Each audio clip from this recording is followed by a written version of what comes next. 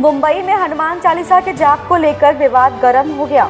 निर्दलीय सांसद नवनीत राणा ने मुख्यमंत्री उद्धव ठाकरे के आवास मातोश्री के बाहर हनुमान चालीसा का जाप करने का ऐलान किया था, जिसके बाद हालात बिगड़ते नज़र आ रहे हैं। नवनीत राणा ने सुबह नौ बजे का वक्त दिया था और इससे पहले ही बड़ी संख्या में शिव सैनिक उनके घर के बाहर पहुँच गए और हंगामा करने लगे।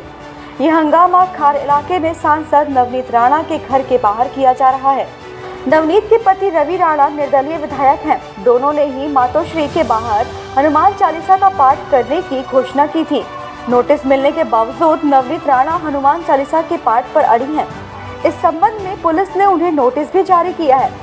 इसके अलावा राणा और शिव सैनिकों के बीच टकराव को रोकने के लिए मालाबार हिल्स में मुख्यमंत्री के आधिकारिक आवास, वर्षा के बाहर भी भारी पुलिस बल तैनात किया गया है।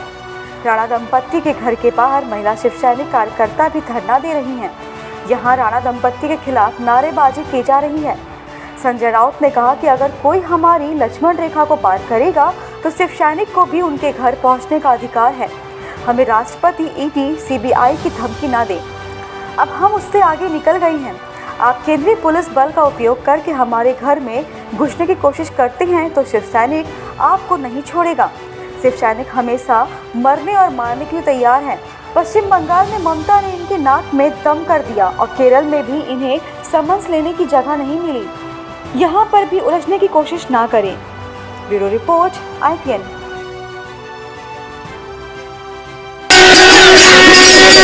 Tonight, tonight, tonight.